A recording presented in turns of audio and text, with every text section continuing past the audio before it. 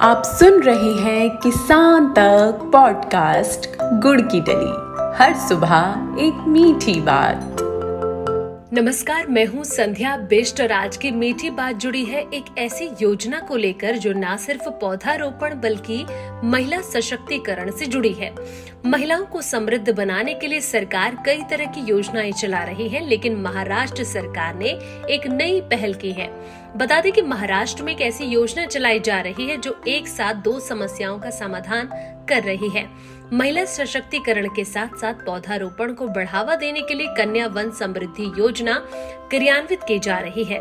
इस योजना के तहत राज्य सरकार उन किसान परिवारों को पेड़ लगाने में मदद कर रही है, जिनमें लड़की का जन्म हुआ है। इसमें सागौन के पाँच पौधे, आम के दो पौधे, फना बैंगनी और इमली के एक एक पौधे शामिल किए जाते हैं। इस योजना का लाभ अधिक से अधिक परिवारों तक पहुँचाने के आदेश दिए गए हैं। इस योजना के तहत किसी भी किसान के घर में लड़की पैदा होने पर उस लड़के के नाम से पौधा लगाने के लिए सरकार मदद देती है।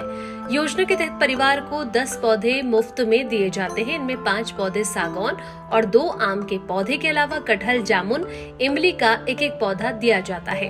इस योजना का लाभ दो लड़कियों के पैदा होने तक मिलता है। अब जानते हैं कि इस योजना का लाभ देने के लिए आवेदन की प्रक्रिया क्या होगी। इस योजना के लाभ के लिए किसान परिवार में जन्म लेने वाली कन्या के माता पिता को कन्या के जन्म के बाद संबंधित ग्राम पंचायत में कन्या का नाम रजिस्टर्ड कराकर निर्धारित पत्र में आवेदन करना होगा।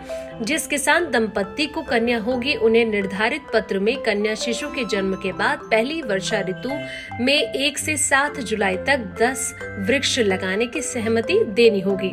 आवेदन में बालिका का पूरा नाम, अभिभावक का पूरा नाम, पूरा संपर्क पता और आधार कार्ड नंबर होना चाहिए।